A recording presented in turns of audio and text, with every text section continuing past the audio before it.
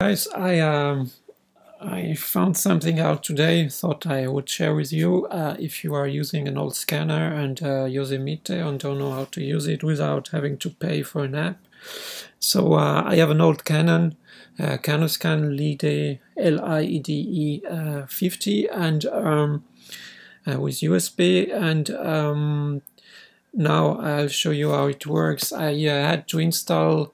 Um, from this website. You see the link when I'm speaking now. I had an annotation.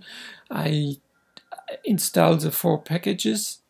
Once it was done, I uh, went to the terminal and I pasted my line of code, which is this one. So I'm going to make it again. You can name it how you want. I I added format TIFF because I want oops I want it in TIFF format and I pressed enter. So my scanner starts right away after this. Maybe. Yeah, no. it's an old scanner, but it works great. I mean, for what I need. That's why I didn't pay for an app, you know, I need it like twice a year or something.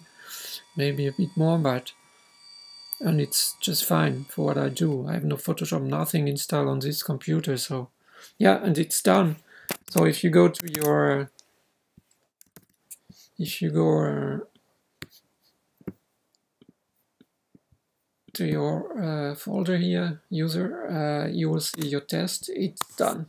It's a piece of art, but it's cool. So I hope it helps. Take care.